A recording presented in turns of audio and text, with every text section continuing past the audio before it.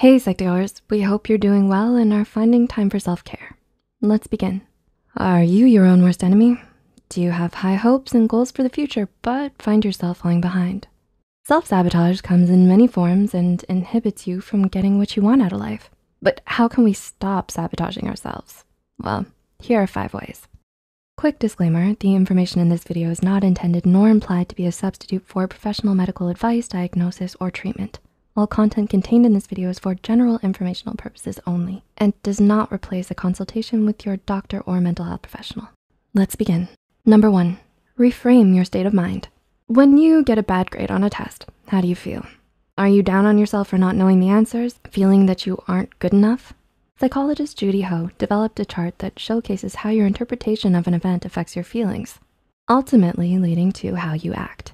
By taking a step back and looking at each component, you can better find different causes that lead to certain actions. Once you have an understanding of this chain reaction, you can better find ways to change your outlook on situations.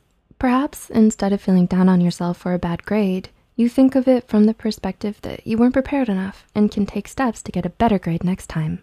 This is a growth mindset and allows you to view failures as opportunities to learn and develop rather than bring you down. Number two, Work on your self-worth. Do you believe that you don't deserve the things you want? That your hopes and dreams are better off going to someone else? With a self-sabotaging mindset, you may also have a low sense of self-worth. Organizational psychologist Courtney Ackerman describes self-worth as our tendency to evaluate our abilities and how we perform our roles. She outlines what does not determine your self-worth that we generally hold in high value. Things like your job, age, grades, or the number of friends among many others should not determine how you view yourself and what you will be able to accomplish.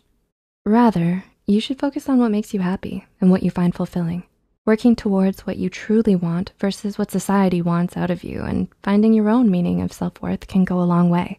Number three, find a strong support network. Do you find yourself getting stuck from time to time? That you wanna go down a certain life path but don't know where to start? Getting the things you want out of life can seem extremely daunting and be next to impossible to do alone. Finding and surrounding yourself with the right group of people, mentors, and friends to help support you will help you develop a strong support network. If you find yourself stuck, it can be easy to stay there, which is why it's important to find the right people that understand your situation to help propel you forward. Number four, break down your goals and celebrate small victories. Are you finding yourself setting large goals, but you never achieve them? Or perhaps you push your ideas off for as long as you can. According to psychologist Dr. Melanie Greenberg, one form of self-sabotage is procrastination. Sometimes your need to get it right makes you nervous, so you push off your task until the last minute. You then sacrifice quality in order to get it done. It can help to vary up your goals and celebrate the small victories you have, instead of embarking on doing one large project all at one time you could break your large goal into smaller goals and treat yourself as you accomplish them one at a time while learning along the way.